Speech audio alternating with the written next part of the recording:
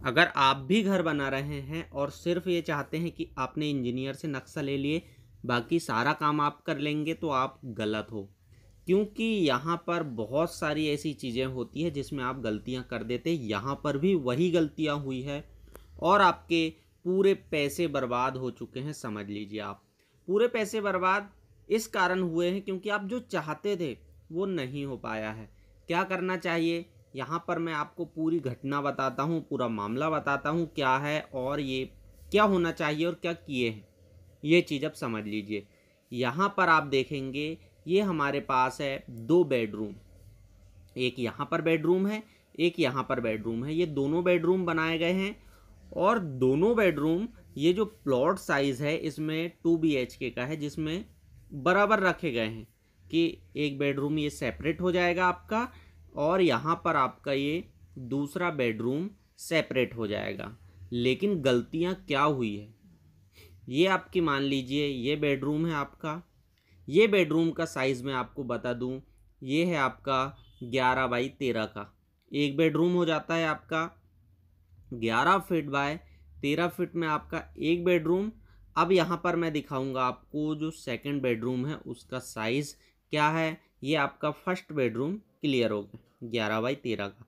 Second bedroom जो है आपका, ग्यारह बाई तेरह का है ये भी, लेकिन इसमें क्या किया गया है? अटैच है आपका, अलग से लेट बाथ जो कि कुछ पोर्शन इसमें इंटीरियर में भी आएगा तो यहाँ से अभी छोड़ दिया गया है। इसको कुछ अलग तरीके से कनेक्ट किया जाएगा। ये आपका हो जाता है ग्यारह बाई तेरह का। अब यहाँ पर देखिए आप, क्या हुआ है? यहाँ पर आप देखेंगे, ये दोनों बेडरूम के बाद एक दोनों बेडरूम के बीच में कनेक्ट करते हुए एक और डोर दे दिया गया है क्लाइंट की अपनी मर्ज़ी से, कि कुछ इस तरीके से करेंगे जिससे अच्छा हो जाएगा।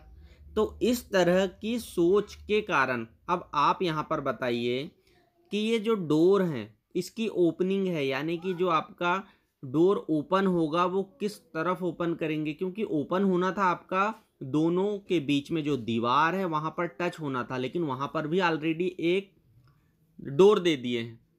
तो डोर फ्रेम लगा है, यानी कि डोर वहाँ पर भी आ गया है। अब ये जो है, आपका ओपन कहाँ होगा? ये सबसे बड़ा सवाल है कि ओपन कैसे करेंगे? यहाँ पर और अच्छे से समझिए आप। ये आपका दोनों तरफ़ ये डोर हो जाता है और दोनों के बीच में ये देखिए फिर से।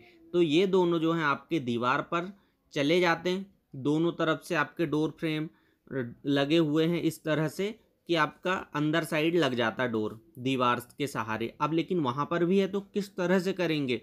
अब ये ऊपर वाला ही जाने कि ये किस तरह से करेंगे। वीडियो अच्छा लगा हो तो लाइक, शेयर ज़रूर कीजिए।